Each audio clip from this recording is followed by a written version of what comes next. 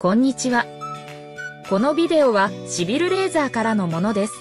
これは785ナノメートル 30mW のピグテールレーザーです。ドライブには調整可能なノブがあります。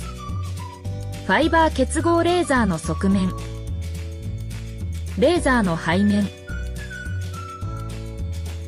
785ナノメートルは近赤外線で、肉眼で見えるスポットは比較的小さいです。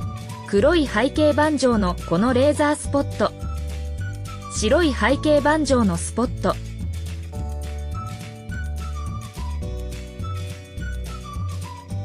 赤外線検出カードで観察すると光スポットがより顕著になります。